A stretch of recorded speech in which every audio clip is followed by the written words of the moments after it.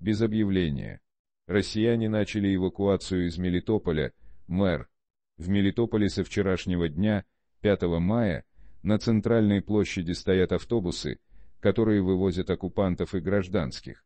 Об этом сообщает РБК «Украина» со ссылкой на заявление мэра Мелитополя Ивана Федорова во время телемарафона.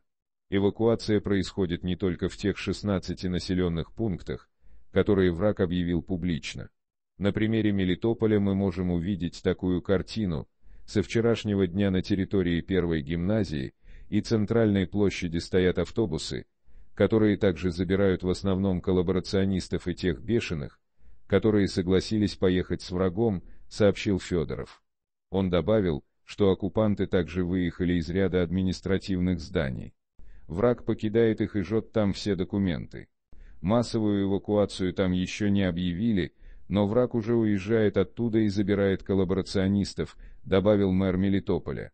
Напомним, 5 мая гауляйтер оккупированной части Запорожской области объявил частичную эвакуацию населения. В России в это время заявили, что хотят переселить около 70 тысяч человек в Запорожской области. Сегодня появилась информация, что оккупанты хотят расширить зону эвакуации в Запорожской области. Срочные и важные сообщения о войне России против Украины читайте на канале РБК «Украина в Телеграм».